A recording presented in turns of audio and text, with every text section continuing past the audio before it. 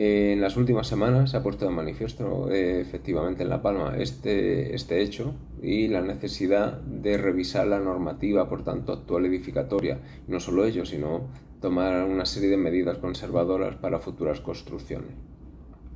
Desde el punto de vista sírmico, pues a la hora de construir estos edificios, pues como digo, no se contempló la peligrosidad sísmica teórica y debería, de empezar a regirse de alguna forma en, las futuras construcciones de la isla.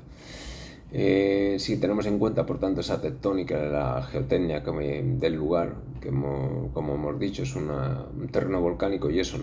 no ha cambiado en el pasado ni va a cambiar, al igual que las normas que rigen las leyes físicas y, los métodos probabilísticos que se siguen utilizando para detectar los terremotos, pues deberíamos de empezar a contemplar la posibilidad de albergar estos escenarios sísmicos en, los cálculos estructurales que realizamos y de alguna forma basarlas en, ese marco proyectual de, de evitar pérdidas humanas y no solo el colapso parcial o total de una edificación.